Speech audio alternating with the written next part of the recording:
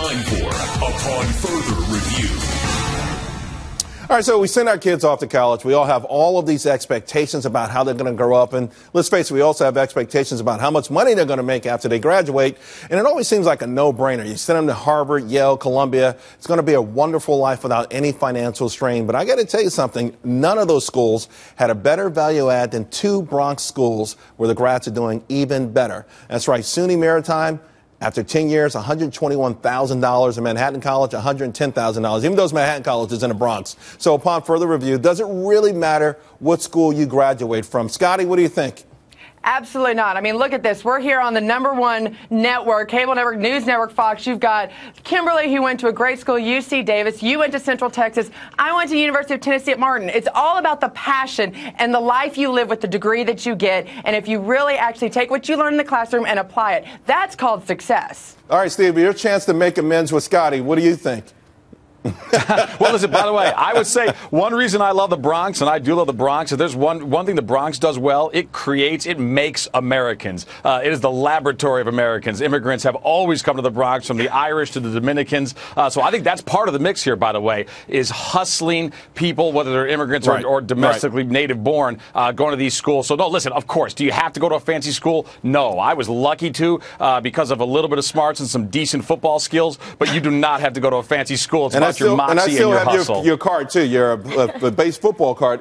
Jillian, you went That's to community college. I did. Before I went to Hillsdale College, I went to Laramie County Community College in Wyoming, and I think that was such an important experience because I learned hard skills there. I was there learning reporting, just the nuts and bolts of it under a professor named Raj Shalisky. That was as valuable to me as my four-year degree. I got to tell you, you, your work is absolutely amazing. But something else that's amazing, Kimberly, I went through your book last yeah, night. Uh, you, are very personal. Uh, you know, I mean, this is it's sort very of revealing, isn't very it? Very revealing. Um, and, and I, I, think a lot of it. people may look at you and think that you haven't made, that you always had it made, but uh, you know, you've put in the work and the struggles, and now you're sharing this information. Yeah, I mean, if you read the book, I mean, even people that are, cl- you know, pretty close to me, they say, wow, we didn't know all of that, because sometimes people say, they judge you, and they say, well, Kimberly, looks like you've got it all going on. You haven't had any troubles or any problems. And I've had people say to me, wow, you've had a lot of problems. You've had a lot of things that have happened in your life. I wanted to be able to share. People have a choice in terms of where they can spend their money and their time. I wanted to be well spent. That's why I revealed so much about,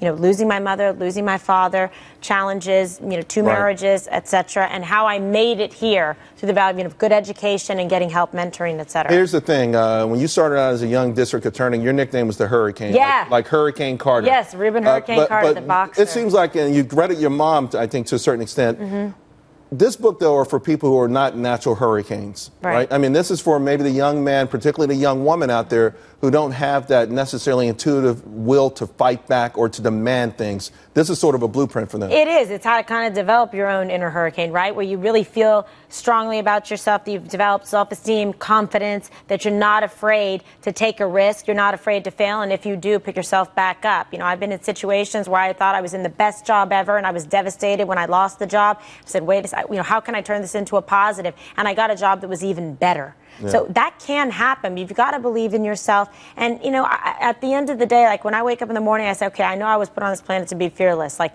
get in, get after it. And I want to honor the memory of my parents. They gave up a lot for me to have the education that I had. And, you know, I just hope that I can mentor and reach out to other people, which I try to do every day in my life, so that they can get some of the, you know, advantages and some of the skills and life lessons. Well, it's a fantastic book. Thank, Thank you, you very much. We appreciate it and hope Thank you come back to see us again. Yeah, I like it here. All right, there's the book for you.